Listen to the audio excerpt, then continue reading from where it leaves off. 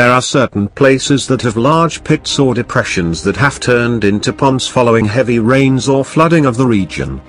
If you have ever observed the type of water body, you have likely noticed that fish start to appear in them on their own, as if by magic.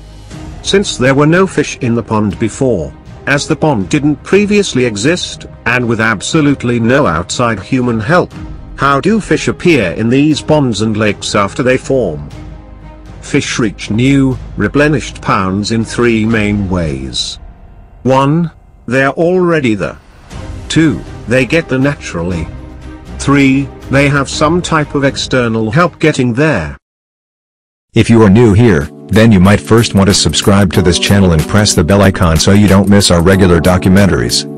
Every week we publish 5 such information-based videos. This might sound a bit unbelievable at first, but it's true.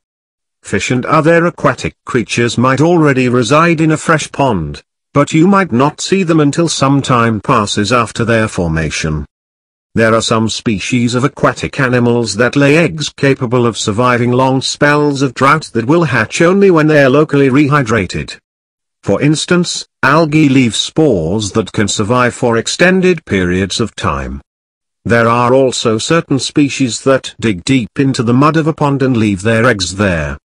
The eggs hibernate until the pond is refilled, at which point they come out, reproduce and propagate their species in the newly formed water body.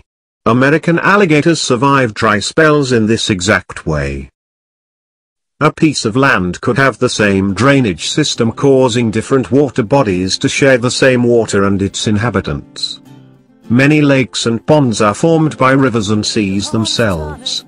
For instance, if there is a steady upsurge of water in a lake, its water might spill over its natural boundaries and accumulate in a low-lying area via small streams. This leads to the formation of a small child water body, where fish and other aquatic creatures might travel to through the same streams, which act as a liquid highway between the parent river and the newly formed lake.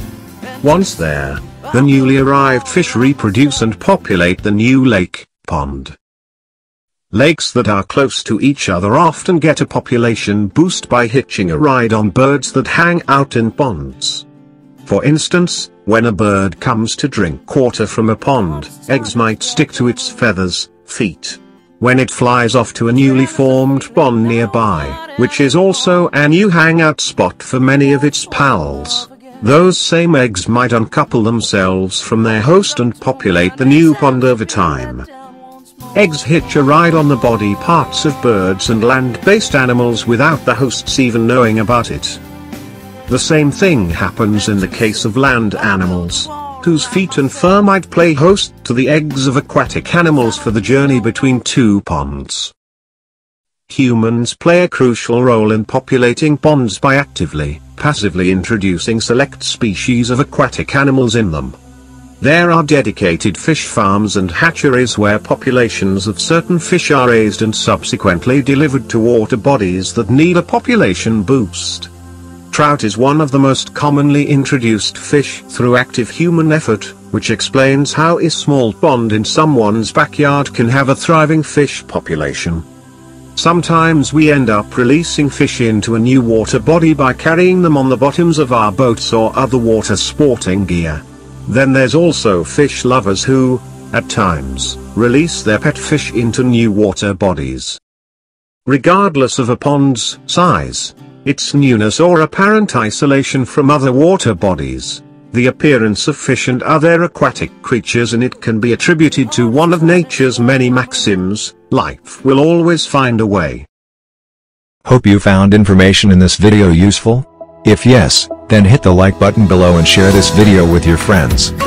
Also subscribe to our channel and press the bell icon, so you don't miss our daily videos. Thank you.